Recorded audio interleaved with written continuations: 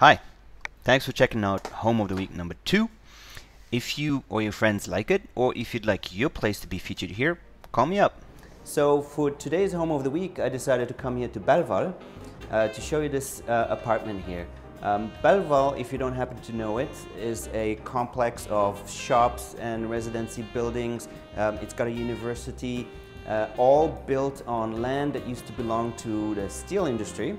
As a matter of fact, if I turn around here, you can see the furnaces that were used up to um, a couple years ago. Uh, so today there's a bunch of new residency buildings here and including this one, so this is Belval Plaza 2.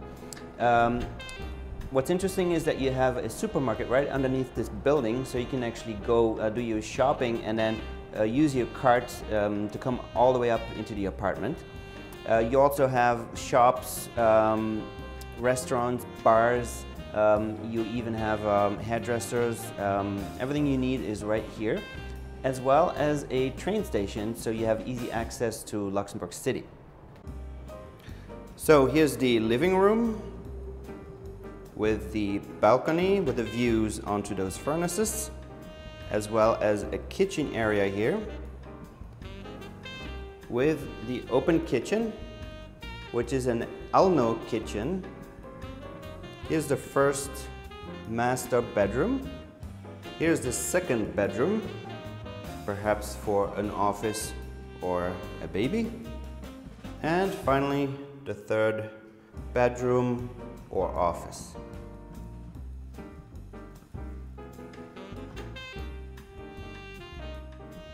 Here's the shower.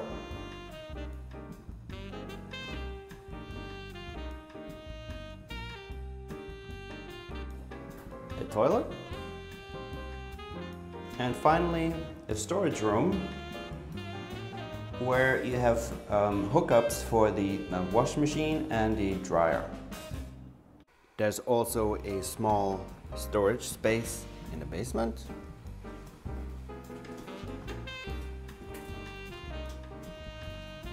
This is about four square meters, which is typical, and two parking spots. So there you have it, a beautiful three bedroom apartment here in Belval. If you happen to like it or if you have any questions, call me up. All my contact details are at the end of this uh, video. And don't forget to like my Facebook, Instagram and Twitter pages. Until next week.